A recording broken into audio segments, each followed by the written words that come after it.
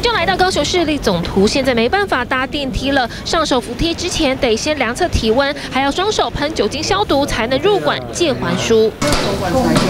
工作人员示范图书馆内的杀菌机操作，把书本架在杆子上，关上门，按下按钮，等个五十秒就算杀菌完成。高雄市立总图这五台杀菌机，五年前就购置，直到现在因为疫情关系，使用率大增。有一些市民朋友们会到服务柜台说：“哎，请问一下，杀菌机在哪里？”大概两到三层吧。公共借阅的图书被读者翻来翻去，难免有细菌粘连。有了杀菌机，让下一位读者更安心阅览。另外，像是手扶梯把手、桌椅，也都是定期四小时全面消毒。不过，新冠肺炎疫情爆发至今，借阅率下降，到馆率也少一成。直到现在，民众避免进入公共密闭空间，一楼的二十四小时还书机就很实用。市民朋友们可以在我们下载这个云端书库的 APP，然后就可以免费一年六十本在。